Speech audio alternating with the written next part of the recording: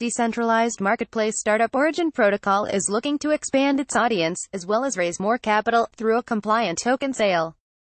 Announced Monday in a press release, Origin has set a target of $6.6 million for the offering, with SEC-registered CoinList Capital acting as its investment advisor and issuing platform.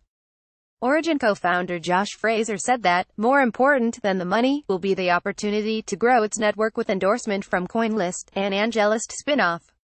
The startup wants as many people to participate as possible, he told Coindesk.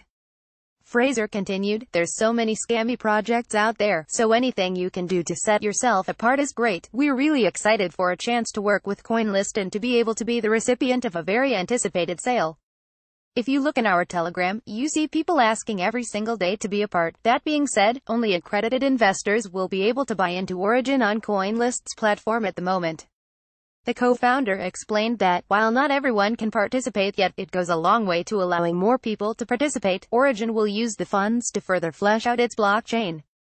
And while it isn't in urgent need of new funds, having already raised $28 million in a SAFT sale and $3 million in a prior venture capital round, the startup still intends to make good use of the sale proceeds, according to Fraser.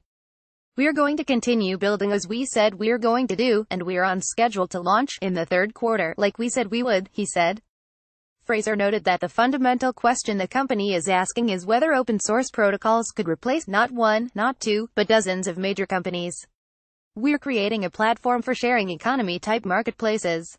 Looking at how you can build decentralized Uber, decentralized Airbnb, these marketplaces where we can use a blockchain to create peer-to-peer -peer marketplaces rather than using giant corporations and monopolies, he said.